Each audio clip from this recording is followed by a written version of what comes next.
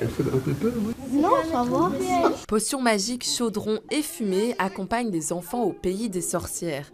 Des personnages mystérieux que les élèves de l'école Saint-Albert pensent bien connaître. Physiquement, moi, pour moi, elle a la peau verte, un nez pointu et une grosse verrue ici. Elle fait des potions avec des tapaves de crapauds. elle mange des enfants. Loin du mythe des vieilles femmes au nez crochu, l'exposition, montée dans l'ancienne église de Berkem-Sainte-Agathe par le service prévention, dresse un portrait moins effrayant.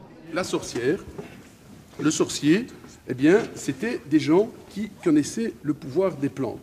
Au fil de la visite, notre guide déconstruit l'image maléfique de ces magiciennes de l'époque. Le but, c'est de montrer aux enfants que ben, les, sorcières n'étaient pas les, les vilaines et, moches et méchantes euh, euh, bonnes femmes comme on, comme on, leur raconte, comme ils, comme ils ont ça dans leur, dans leur bouquin, dans leur conte de fées, et leur montrer ben, que c'était d'une certaine manière la, guérisseuse, la sage-femme, la, la, femme médecin de, de l'époque. De la bave de crapaud à l'écorce de saule, l'image de ces sorcières se démystifie aux yeux des élèves. Elles sont gentilles, c'était des anciens médecins on les forçait à dire des choses qui n'étaient pas vraies. J'ai appris que des sorcières, c'est pas forcément méchant, que c'est gentil. Quand on voyait qu'elles volaient sur un balai, que c'était pas vrai. Il était une fois les sorcières, une exposition à découvrir en famille jusqu'au 19 novembre.